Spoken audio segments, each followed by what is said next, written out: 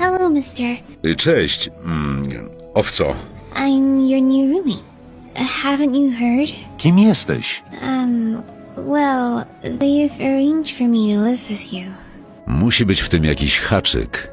Let me in. Nie. Why? Możesz na moment przestać przybijać? Let me in. I live here now. Raczej nie. You do yourself a huge favor if you let me in. Wolałbym nie, jeśli łaska. You see, I'm not just any ordinary girl.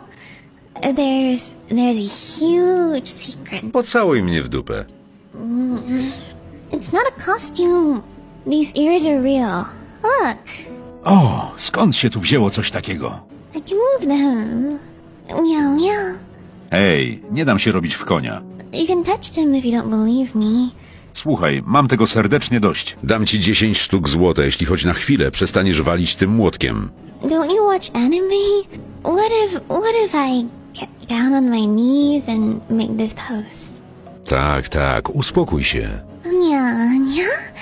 Gosujin-sama? Przestań przybijać albo połamie ci wszystkie kości. Doesn't this make you feel a little weak? Czuję się, jakbym kilka tygodni leżał pod stertą głazów. You are unusually strong-willed. Freaking weirdo. Odwal się. Albo możesz od razu wybierać sobie kwaterę na cmentarzu.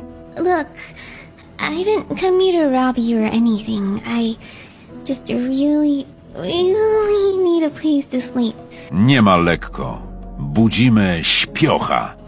Um, what are you doing? Jedna bestia mniej!